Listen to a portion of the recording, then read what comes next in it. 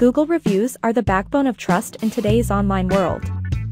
They act as glowing endorsements, influencing buying decisions and turning website visitors into loyal customers.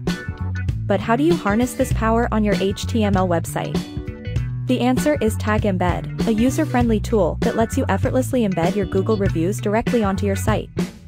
Let's explore how to transform these valuable testimonials into conversion champions.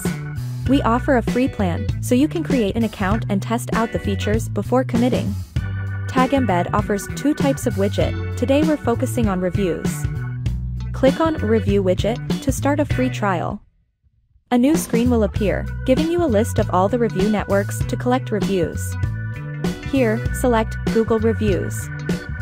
Tagembed gives you two ways to connect your Google reviews, by location or by business.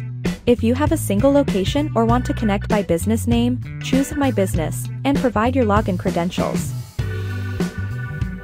If you have multiple locations, choose places, and enter the specific address. Once you've connected your Google reviews and you see them displayed in the widget editor, it's time to embed them on your Wix website. You can also try Tagembed's new feature that allows you to promote customer for reviews. Click on the Embed widget button in the bottom left corner. A new screen will appear with a variety of website platforms.